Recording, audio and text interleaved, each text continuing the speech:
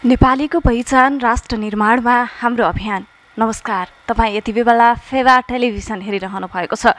दर्शकबिन कार्यक्रम महिला जागरण लिएर आज पनि म प्रस्तुता विनु सुवेदी उपस्थित भइसकेकी छु। कार्यक्रम महिला जागरणमा हामीले महिला दिदीबहिनीहरूसँग सम्बन्धित विभिन्न विषयवस्तुमा कुराकानी गर्ने गर्दछौँ। कुनै श्रृङ्खलामा हामी महिला दिदीबहिनीहरूले गर्नुभएका विभिन्न कार्यहरू उहाँहरूले गरेको कार्यस्थलमै गएर तपाईँलाई देखाउने गर्दछौँ। त्यसै गरी कुनै श्रृङ्खलामा हामी महिला दिदीबहिनीहरूलाई हामीले हाम्रो स्टुडियोमा बोलाएर उहाँसँग गरेको प्रत्यक्ष कुराकानी तपाईँलाई हामीले देखाउने गर्दछौँ। हरेक हप्ताको बिहिबार यसै समय तपाईँले कार्यक्रम महिला जागरण हेर्दै आउनुभएको छ। फेवा टेलिभिजन तपाईँलाई हामीले महिला जागरण लिएर आएका छौँ। आजको महिला जागरण कार्यक्रममा भने हामीले एकजना यस्तो पाहुनालाई बोलाएका छौँ जो सुन्दरतासँग जोडिनु भएको छ। महिला दिदीबहिनीहरू विभिन्न क्षेत्रमा विभिन्न योगदान दिइरहनु भएको छ। सुन्दरता होस् श्रमको क्षेत्र होस् शिक्षा लगायत विभिन्न क्षेत्रमा महिला दिदीबहिनीहरूको पहुँच छ। अहिले त मानौ राजनीतिमा पनि महिला दिदीबहिनीहरू अगाडि रहनु भएको छ। आजको श्रृङ्खलामा मैले मिस गोर्खाको फर्स्ट रनर प्रकृति श्रेष्ठलाई स्टुडियोमा आमन्त्रण गरेर उहाँसँगको कुराकानी तपाईँलाई देखाउने जमरको उठेकै छु। आउनुहोस् उहाँहरूलाई कार्यक्रममा स्वागत गरौँ। स्वागत छ तपाईँलाई। धन्यवाद। आराम हुनुहुन्छ? हजुर आरामै। फर्स्ट त तपाईँलाई बधाई छ तपाईँ मिस गोर्खाको फर्स्ट रनर हुनुभएको छ। हजुर धन्यवाद। कस्तो अनुभूति भइरहेछ? मलाई यो फर्स्ट रनरअप भएकोमा एकदमै खुसी लागिरहेको छ।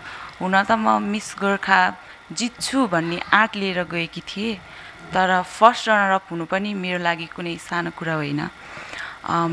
मिस गोर्खामा गएर मैले धेरै ट्रेनिङ लिए पश्चात धेरै मेहनत गरे पश्चात यो फर्स्ट रनरअपको उपाधि हासिल गरेकी छु र यसमा मलाई एकदमै खुसी लागिरहेको छ। कतिजना हुनुहुन्थ्यो प्रतियोगीहरू? प्रतियोगीहरू हाम्रो बिसजना हुनुहुन्थ्यो प्रतिस्पर्धी साथीहरू। बिसजनाबाट फाइनल राउन्डमा टप टुवेल्भ सेलेक्ट हुनुभयो। हाम्रो इन्ट्रोडक्सन राउन्डबाट टप टुवेल्भजना फाइनल कन्टेस्टेन्टहरू सेलेक्ट हुनुभयो। त्यहाँबाट हाम्रो क्वेसन एन्सर राउन्ड टप टुवेल्भबाट अनि त्यसबाट टप टुवेल्भबाट जसले उत्कृष्ट एन्सर दिनुभयो त्यहाँबाट टप सेभेन सेलेक्ट भएको थियो हाम्रो मिस गोर्खामा। त्यहीबाट नै winner first runner up second runner up र थर्ड रनरअपको उपाधि अनाउन्समेन्ट भयो। विभिन्न यस्ता ब्युटी प्रतियोगिताहरूले महिलाको जीवन स्तरमा परिवर्तन ल्याउँछन् उनीहरूको आत्मबल बढाउँछ भनेर आयोजकले भनिरहन्छ होइन? तपाईँ ब्युटी यो फेसनमा आउनुभन्दा पहिलाको प्रकृति र अहिलेको प्रकृतिमा फरक के छ? मैले यो ब्युटी प्याजेन्टमा आउनुभन्दा अगाडिको प्रकृति र अहिलेको प्रकृतिमा एकदमै धेरै फरक पाएकी छु। मैले जुन यो म मिस गोर्खामा आउनुभन्दा अगाडि म यसरी अहिले जुन हजुरको सामु यसरी बोल्दैछु नि यो कन्फिडेन्स मसँग थिएन। तर यो मिस गोर्खामा म जब आएँ मैले एक महिना ट्रेनिङ लिएँ त्यहाँ हाम्रो सर सौरभ थापा सर र सुरज थापा सर जुन पोखराबाट आउनुभएको थियो उहाँहरूले हामीलाई धेरै कुराहरू सिकाउनु भयो। जस्तै कसरी बोल्ने कुन तरिकाले बोल्ने कोसँग कसरी बोल्ने कसरी हिँड्ने ड्रेसअपदेखि लिएर सबै कुरामा हामीलाई एकदम पर्फेक्ट बनाउनु भयो। म खुसी छु पहिला म जस्तो थिएँ अहिले त्योभन्दा म एकदमै बेटर फिल गर्छु आफूलाई। यो मिस गोर्खा पश्चात मैले मेरो सर सौरभ थापा सर र सुरज थापा सरले पोखरामा भएको थुप्रै इभेन्टहरूमा मलाई बोलाइराख्नु भएको छ र म खुसी छु एकदमै।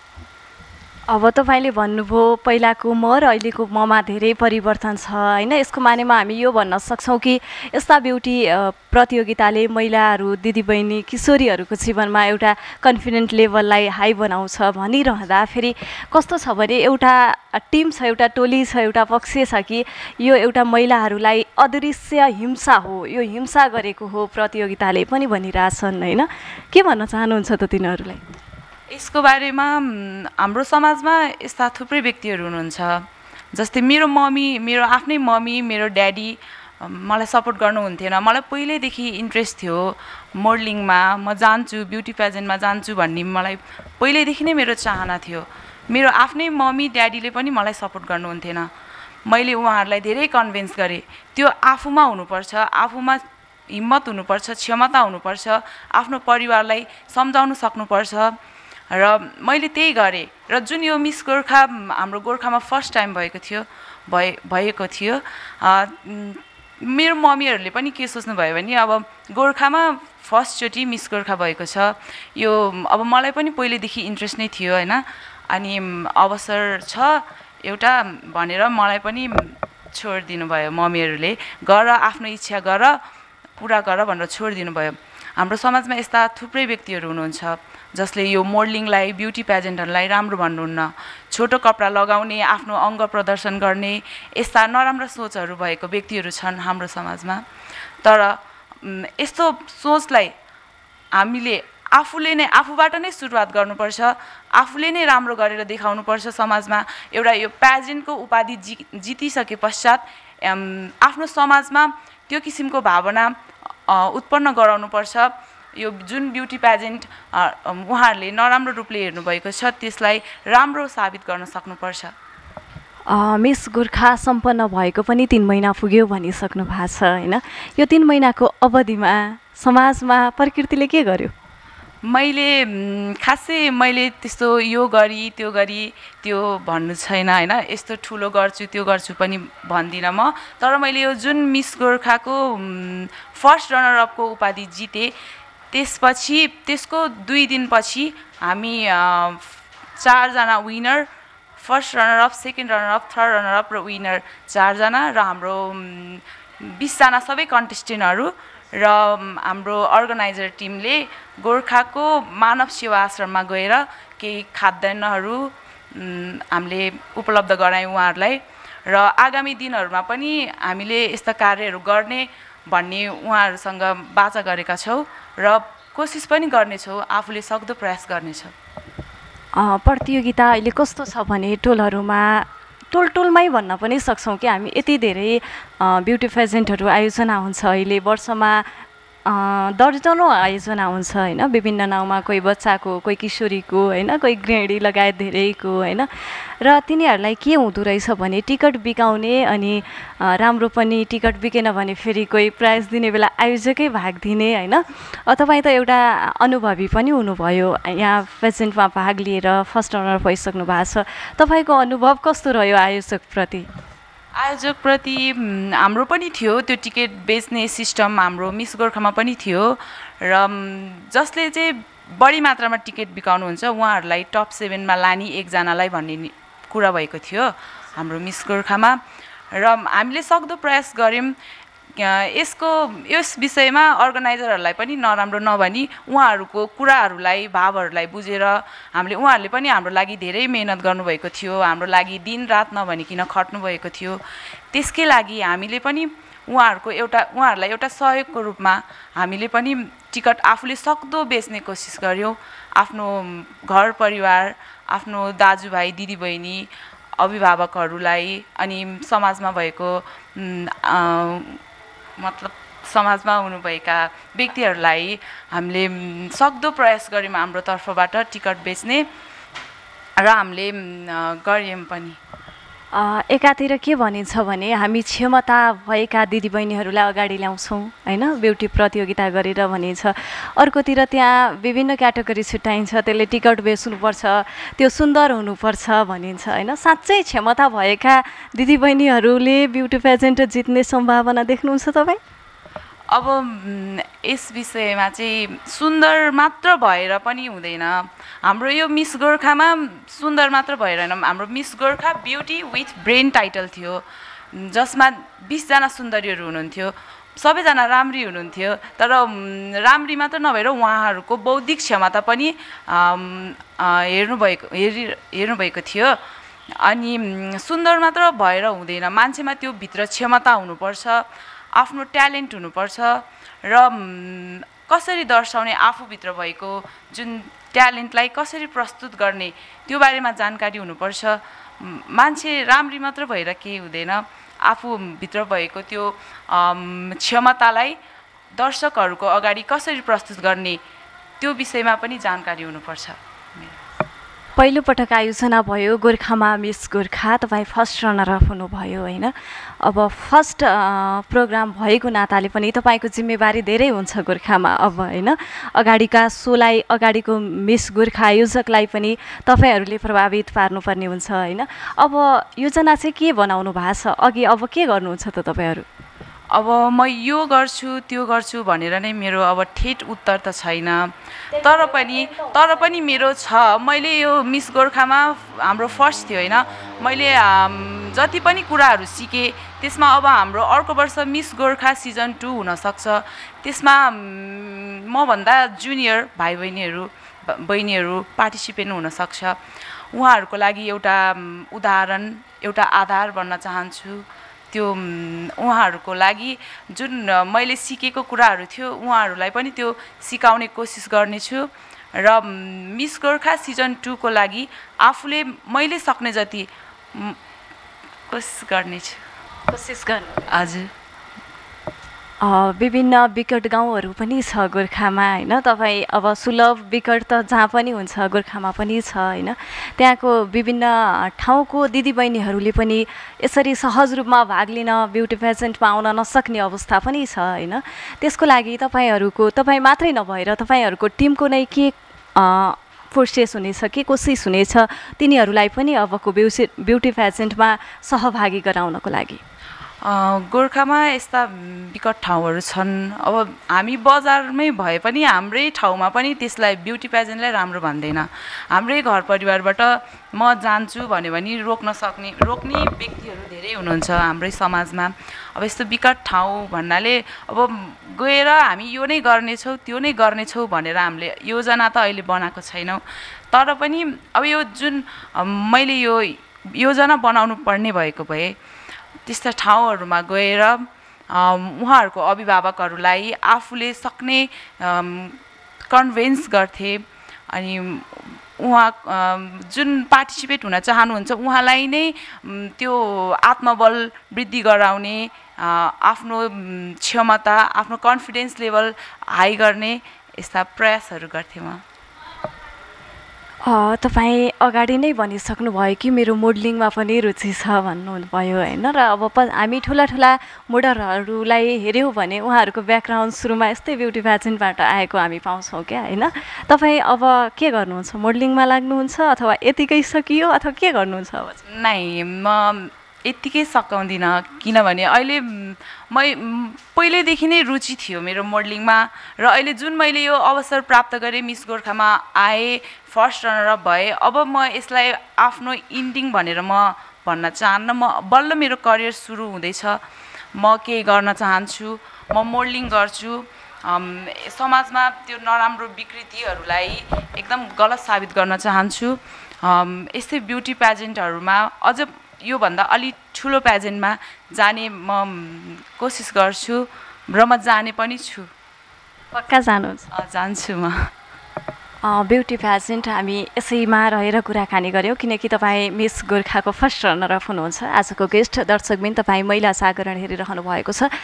र अब ब्युटी प्याजेन्टले तपाईँमा परिवर्तन ल्यायो भन्नुभयो होइन? जति पनि दिदीबहिनीहरू सहभागी हुनुभयो उहाँहरूमा परिवर्तन ल्यायो होला होइन? अब तपाईँहरूले समाजमा परिवर्तन ल्याउने जिम्मेवारी पनि बोक्नु भएको छ होइन?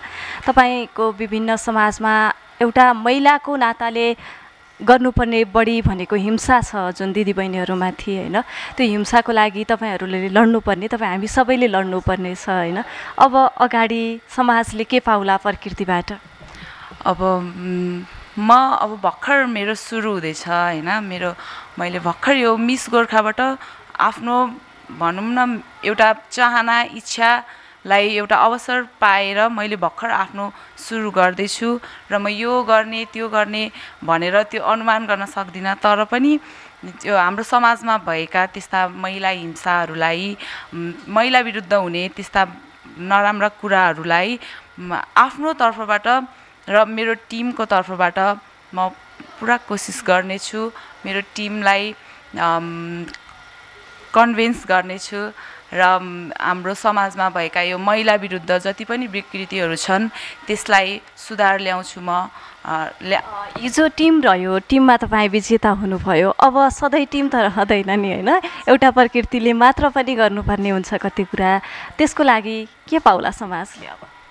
अब त्यसको लागि अब मेरो टिम हजुरले भन्नुभयो मेरो टिम मसँग सधैँ हुँदैन। अब कहिले म एक्लै पनि मै मैले एक्लैले पनि गर्नुपर्ने धेरै कुराहरू हुन्छन् जसको लागि म तयार नभए पनि आफूलाई यस्तो रूपमा तयार गर्ने कोसिस गर्छु जुन प्रकृतिले कुनै नराम्रो कुरा होइन कि राम्रो कुरालाई राम्रो कुराको लागि एउटा उदाहरण रह्यो प्रकृति भन्ने समाजमा एउटा छुट्टै पहिचान होस्। आयोजकले सुन्छु होइन? हामी सुन्छौँ है। अब आयोजकले डिल गर्छ अरे एक वर्ष दुई वर्ष यति हामीले भनेको कुरा गर्नुपर्छ अरे।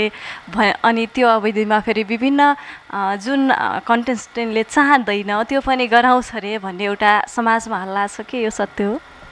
सत्य नै त्यस्तो होइन। अब आयोजकहरूबाट एउटा एक वर्षको प्रोजेक्ट रहेको हुन्छ जुन हामीले साइन गर्नुपर्ने हुन्छ। र त्यो त्यो हामीले ठ्याक्कै ब्युटी प्याजेन्टको फाइनलको अघिल्लो दिन हामीले त्यो साइन गर्नुपर्ने हुन्छ। सबै जुन बिसजना कन्टेस्टेन्ट हुनुभयो नि उहाँहरू सबैले साइन गर्नुपर्ने हुन्छ र त्यो मध्येबाट चारजना विनरहरूले चाहिँ त्यो जुन साइन गर्नुभएको त्यो एग्रिमेन्ट पेपर थियो नि त्यसलाई उहाँहरूको अधीनमा रहेर एक वर्ष उहाँहरूको उहाँहरूले भनेको कुरा त्यो साइन हामीले जुन गरेको थियौँ त्यो पेपरमा जे लेखेको थियो त्यो हामीले पुरा गर्नुपर्ने हुन्छ। त्यस्तो नराम्रो त्यो यो गर्नुपर्ने त्यो गर्नुपर्ने भन्ने त्यो कर दबाब केही हुँदैन त्यो पेपरमा। राम्रो गर्न पनि पाइन्छ। नै त्यो नगर्न पर्ने त होइन हामीले गर्नुपर्ने त हुन्छ तर त्यो पेपरमा नराम्रो कुराहरू त्यो मतलब त्यस्तो हुँदैन। हाम्रो राम्रो लागि हाम्रो लागि राम्रो कुरा नै हुन्छ। एक वर्ष ला एक वर्षको लागि उहाँहरूको उहाँहरूको सल्लाह सुझाव लिनुपर्ने हुन्छ जुन हाम्रो लागि म राम्रो नै मान्छु। व्यवसायिकको एउटा फाटो हुन्छ कि आफूलाई फाइदा होइन? एउटा प्रतियोगिता पनि व्यवसाय नै हो होइन? र त्यो आयोजकले त्यो आफ्नो व्यवसायको लागि तो गरिरहला र अर्कोतिर जुन प्रतियोगिता र तपाईँ जस्ता जति पनि हुनुहुन्छ उहाँहरूले त एउटा स्वतन्त्र भएर आफू खुसी गर्न नपाउने त्यो त अलिकति नमिठो भएन त्यो अलिकति खल्लो लाग्छ किनभने आ हाम्रो पनि पर्सनल लाइफ हुन्छ हामीलाई पनि गर्न मन लागेको हुन्छ धेरै कुरा। तर उहाँहरूको अधीनमा रहेर हामीले त्यो कुराहरूलाई एकदम आफ्नो नियन्त्रणमा राख्नुपर्ने हुन्छ। त्यो कुरामा एकदम अलिकति खल्लो पनि लाग्छ तर फेरि लाग्छ कि उहाँहरूले हाम्रो लागि नराम्रो त गर्नुभएको होइन राम्रै गर्नुभएको हो हाम्रो भविष्यको लागि राम्रो गर्नुभएको हो। यस्तो कुरा मनमा आउँछ र पनि र ठिकै लाग्छ। राम्रै लाग्छ। राम्रै लाग्छ आयोजकको हजुर राम्रै लाग्छ। ब्युटी पेसेन्ट तपाईँ फर्स्ट रनर हुनुहुन्छ मिस गोर्खाको होइन? अब अर्को होला अर्को सिजन होला नहोला र तपाईँहरू टिममा बिसजना भन्नुभयो र समाजको लागि केही हामी गर्छौँ पनि भन्नुभयो होइन? सुन्दरता के रहेछ? सुन्दरता सुन्दरतालाई हामी बाहिरी रूपबाट मात्रै सुन्दरता भन्छौँ। तर सुन्दरता वास्तविक सुन्दरता मान्छेको भनेको बाहिरी रूप मात्रबाट मात्र नभई भित्री रूपबाट पनि जो सुन्दर हुनुहुन्छ उसलाई हामी सुन्दरता भन्न सक्दछौँ। अब बाहिरी रूपबाट त जो पनि सुन्दर हुनसक्छ होइन? अहिले बजारमा विभिन्न प्रकारका प्रोडक्टहरू आइरहेको छ मेकअपहरू जसले एकदमै राम्री बनाइदिन्छ हामीलाई पनि। तर त्यो बाहिरी रूपबाट मात्र नभइकन जुन मान्छेको बौद्धिक क्षमता कन्फिडेन्स लेभल हुन्छ नि त्यसलाई पनि हामी सुन्दरता भन्न सक्छौँ। जुन राम्री देखिनुहुन्छ त्यसलाई मात्र हामी सुन्दरता भन्दैनौँ। समाजले त भन्दैन नि फेरि बाहिर हेर्दा नराम्रो मान्छेभित्र जति नै बौद्धिक होस् त्यसलाई राम्रो मान्दैन त फेरि समाज। हजुर हाम्रो समाजमा नराम्रो कुरा नै यही हो। मान्छेले मान्छेले मान्छेलाई नै आफ्नै व्यक्तिलाई नै आफ्नै छिमेकीलाई नै नराम्रो भन्छ। जुन बाहिरी रूपबाट राम्री हुनुहुन्छ उहाँहरूलाई राम्री भन्नुहुन्छ। र नराम्री बाहिरीबाट जुन सुन्दर देखिनुहुन्न नि उहाँहरूलाई यो नराम्री यस्तो उस्तो भनेर हाम्रै समाजमा कतिपयले कुराहरू काट्ने खुट्टा तान्ने गर्नुहुन्छ। तर यो कुरा समाजमा अहिलेसम्म भित्रीबाट भित्री रूपबाट सुन्दर भन्ने कुरालाई बुझ्न सक्नुभएको छैन हाम्रो समाजमा। मतलब अलि पहिलाको जेनेरेसनको नै हुनुहुन्छ होइन? अहिलेको जेनेरेसन अनुसार चल्न उना उहाँहरूलाई अलिक गाह्रो नै पर्छ। तर त्यो कुरा हामीले उहाँहरूलाई बुझाउनुपर्छ। हामीले नै गर्ने हो त्यो कुरा र हामीले नै गर्नुपर्छ। त्यो बुझाउने अब जिम्मेवारी प्रकृतिको हुने कि नहुने? अवश्य मेरो नै हुन्छ। किनभने मैले यो मिस गोर्खाको फर्स्ट रनरअपको उपाधि जितेँ। त्यसपछि त म यत्तिकै त बस्दिनँ। किनभने मैले धेरै कुराहरू भनेको छु धेरै धेरै कुराहरू गरिसकेको छु। अब यो मेरो बोलीमा मात्र नभइकन म गरेर पनि देखाउने छु भन्ने बाचा गर्छु। हामी कार्यक्रमको अन्तिम अन्तिमतिर पनि आइसकेका छौँ होइन? र समाजमा एउटा ब्युटी पेजेन्टलाई हेर्ने दृष्टिकोण मैले भनिहालेँ अदृश्य हिंसा भनेर परिभाषित गर्छ समाजले। यसलाई अझै पनि खुलेर समाजले एक्सेप्ट गरेको अवस्था छँदै छैन होइन? बिल्कुलै छैन। यति धेरै पेजेन्टहरूको आयोजना हुँदा पनि समाजले यसलाई एक्सेप्ट गर्न अझै पनि सकिरहेको छैन होइन? तपाईँ के भन्न चाहनुहुन्छ यसको बारेमा? अब उहाँहरूले त्यो एक्सेप्ट गर्नु हुँदैन। मतलब पहिलाको जेनेरेसनको हुनुहुन्छ। अब अलि मैले पहिला पनि भने अलिक गाह्रो नै पर्छ उहाँहरूलाई। हामीले जति राम्रो रूपले उहाँहरूलाई बुझाउन खोजे पनि सम्झाउन खोजे पनि उहाँहरूले त्यो कुरालाई नराम्रो नै लिनुहुन्छ। छोटो कपडा लगाउने आफ्नो अङ्ग प्रदर्शन गर्ने हाम्रो छोरीहरूलाई बिगाऱ्यो यस्तो गर्यो त्यस्तो गर्यो भनेर धेरै कुराहरू समाजमा आइरहेको हुन्छ। तर त्यो कुरालाई हामीले नेगेटिभ रूपमा नलिगिकन पोजिटिभ रूपमा लिगेर त्यो कुरालाई आफूले सक्दो राम्रो रूपमा एउटा राम्रो उदाहरण दिनुपर्छ समाजमा र म त्यही भन्न चाहन्छु। तपाईँले त राम्रो उदाहरण दिन्छु भन्नुभयो होइन? कसरी बुझाउने त समाजलाई? ब्युटी पेसेन्टहरू पनि नराम्रो होइन है? यसले पनि हामीमा विभिन्न क्षमताहरूको विकास गराएको छ हामीलाई खुलेर बोल्न सक्ने बनाएको छ समाजमा हाम्रो पहिचान स्थापित गर्न सक्ने बनाएको छ भनेर कसरी देखाउने त अब? अब यस्तो कुराहरूलाई हामीले देखाउन खोजे पनि उहाँहरूले देख्न चाहनुहुन्न।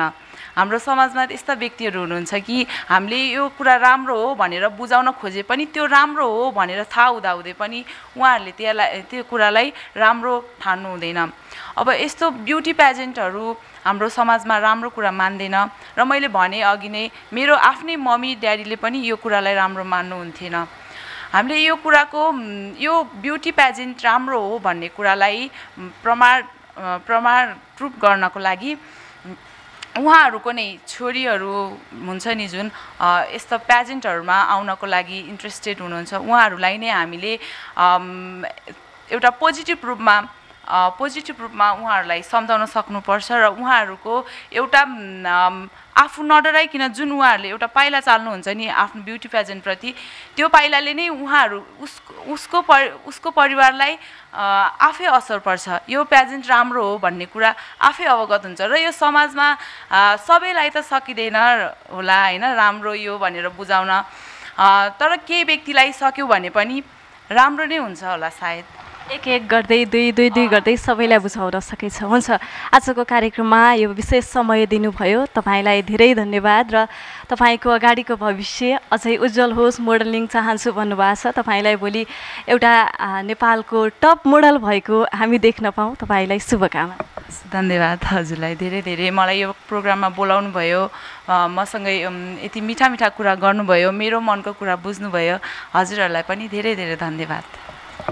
दर्शकवृन्द कार्यक्रम महिला जागरण आज मैले कार्यक्रम महिला जागरणमा मिस गोर्खाको फर्स्ट रनर अफ प्रकृति श्रेष्ठसँगको कुराकानी तपाईँलाई देखाएँ। सुन्दरता के हो र हाम्रो समाजले सुन्दरतालाई कसरी हेर्छ? वास्तवमा सुन्दरताका यी विभिन्न प्रतियोगिताहरू हुन्छन्। यी प्रतियोगिताले महिला दिदीबहिनीहरूको किशोरीको जीवनमा विशेष के परिवर्तन ल्याउँछ त? यिनै विषयवस्तुमा आजको महिला जागरण कार्यक्रममा हामीले कुराकानी गऱ्यौँ। दर्शकवृन्द हामी अझै पनि हाम्रो समाजले यी विभिन्न सुन्दरी प्रतियोगितालाई राम्रो मानिरहेको छैन। तपाईँ हामी सबैले देखेकै भोगेकै कुरा हो। यसलाई अझै पनि समाजले अदृश्य हिंसाका रूपमा परिभाषित गरिरहेको छ। तर वास्तवमा यस्ता विभिन्न सुन्दरी प्रतियोगिताहरूले महिला दिदीबहिनीको जीवन स्तरमा भने पक्कै पनि सुधार ल्याएको हामीले देखिरहेका छौँ। भर्खरै हाम्रो पाहुनाले पनि भन्नुभयो उहाँको जीवनमा जस्तै अरू दिदीबहिनीको जीवनमा पनि यस्ता प्रतियोगिताहरूले परिवर्तन ल्याएका छन्। मात्रै यति हो कि हाम्रो हेर्ने दृष्टिकोणमा परिवर्तन ल्याउनु जरुरी छ। आजको कार्यक्रममा यति बोल्छु। कार्यक्रम हेरेर साथ दिने तपाईँ सम्पूर्णलाई विशेष आभार व्यक्त गर्दै क्यामेरा पर्सन सरहरूलाई आभार व्यक्त गर्छु र कार्यक्रम महिला जागरणबाट आजको यो श्रृङ्खलाबाट म बिनु सुवेदी पनि ओसलिन्छु अर्को हप्ताको श्रृङ्खलामा फेरि यस्तै कुनै पाहुनाको साथमा उपस्थित हुनेछु। हेर्दै गर्नुहोला फेवा टेलिभिजन। नमस्कार।